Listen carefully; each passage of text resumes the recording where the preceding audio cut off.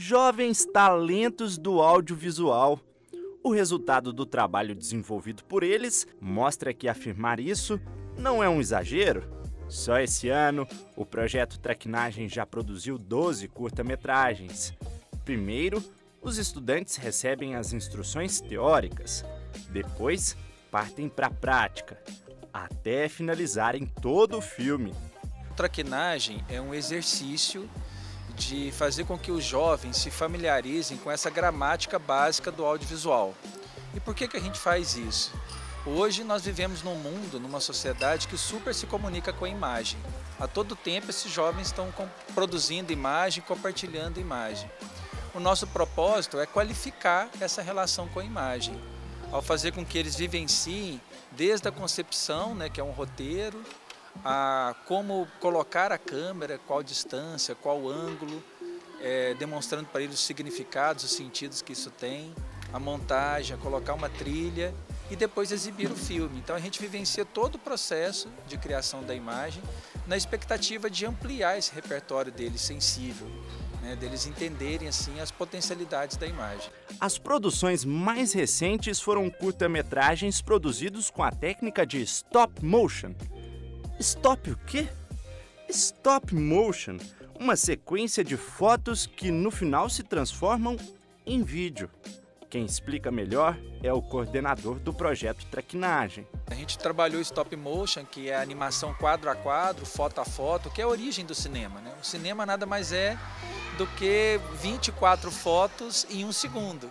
Então a gente explicou para eles é, é, essa, como é que é feita essa técnica, produzimos oito curtinhas de, de stop motion e a expectativa agora é que eles também circulem nos festivais de animação que tem no Brasil, que são muitos.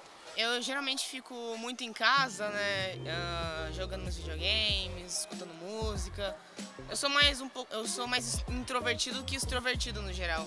E esse projeto, ele me ensinou a ser mais extrovertido, né, a me expressar mais.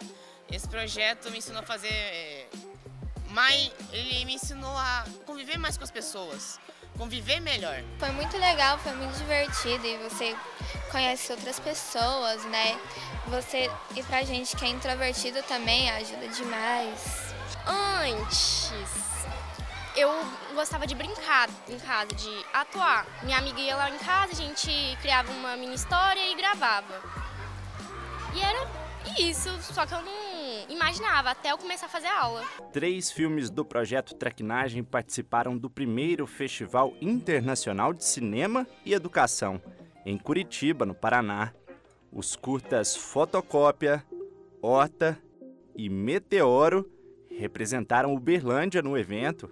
Sabe aquela história do meteorito? Aham. Uhum. Eu achei. Ah, Orlando, deixa de ser mentiroso. Mas é verdade. Então mostra, então. Olha aqui, então. Foi o primeiro Festival Internacional de Curitiba de Cinema e Educação. E é um festival internacional. Lá de mais de 300 filmes que foram inscritos, nós ficamos entre os 26.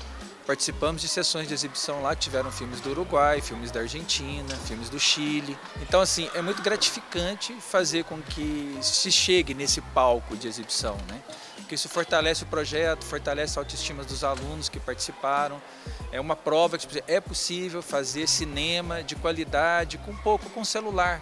Basta você ter uma ideia criativa e saber costurar isso, fazer isso com os elementos básicos da linguagem, se familiarizar com isso, que é possível. Você não precisa ter uma câmera cara, sofisticada para fazer um bom filme. Você precisa ter uma boa ideia e saber operar esses elementos.